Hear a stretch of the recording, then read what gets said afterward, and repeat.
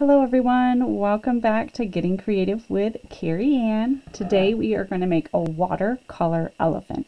So think about what an elephant looks like. You can grab a picture, you can trace it, you can freehand it, you can just sketch it with a pencil. I'm going to sketch with a pencil today. We all kind of know what an elephant looks like. They have, you know, one of those large bodies.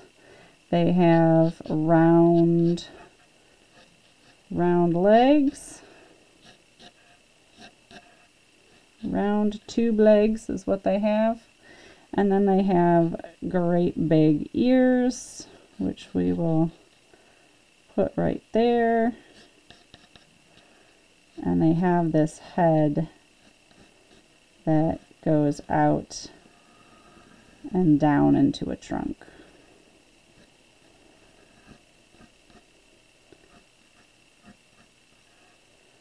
And they have an eye right there. So readjust your sketching if need be.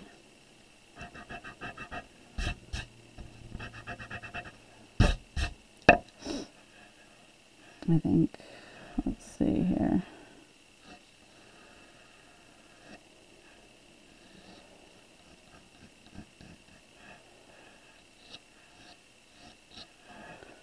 Alright. Maybe we'll, let's see here.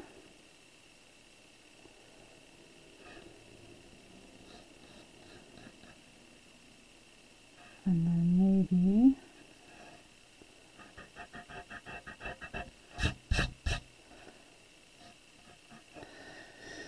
And then sometimes they have those great big tusks that come out.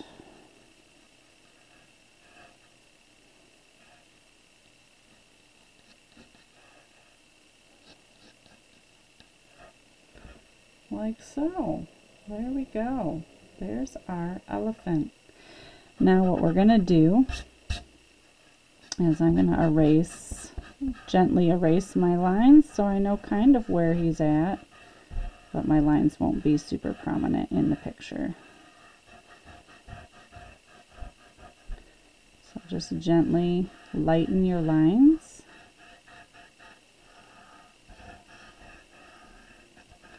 And we're going to make a really awesome looking elephant.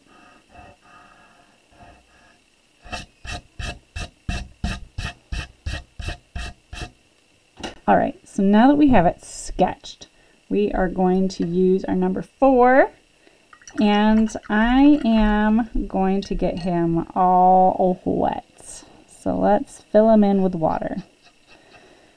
So I did erase some of my lines, but I can still see where he's at.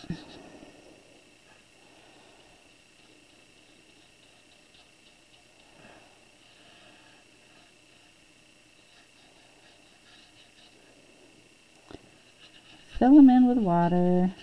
Make sure he's nice and wet. The only part that I'm not going to fill in with water is his tusks at the moment.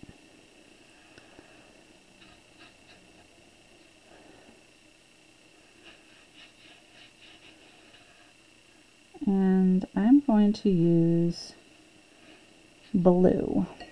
So I'm going to use a light blue to fill him in.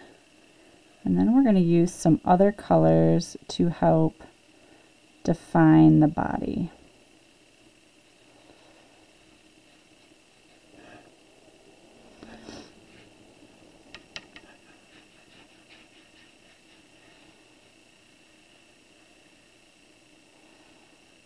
If your paper seems a little dry, just add some more water.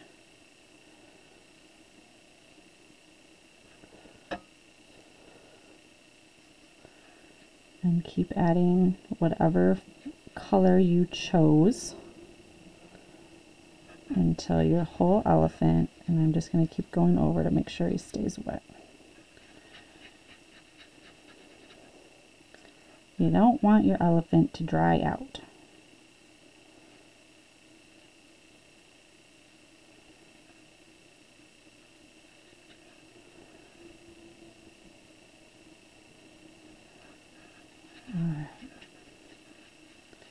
Now that we got our base color on, I am going to use purple as my shadow. So we have a back leg here.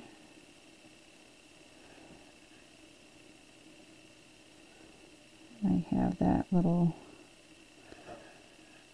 knee up there,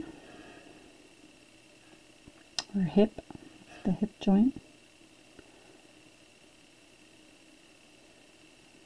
Elbow, and we have a back leg over here. Maybe we have a foot.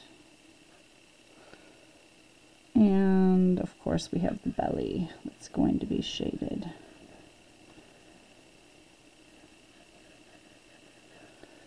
And what else do we have? We have an ear.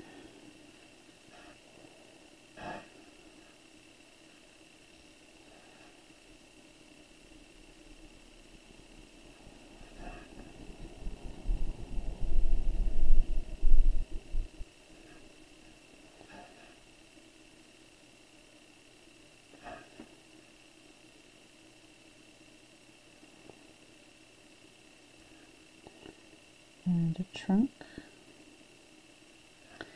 And then I'm going to bring out the tusks with purple.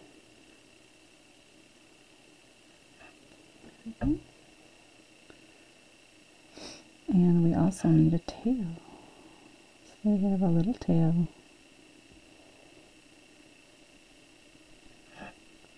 Just like so.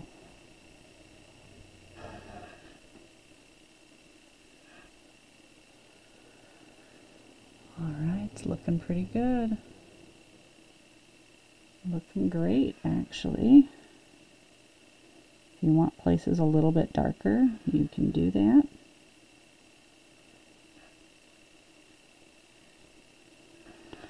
Give it more definition. Just let the paint do the work.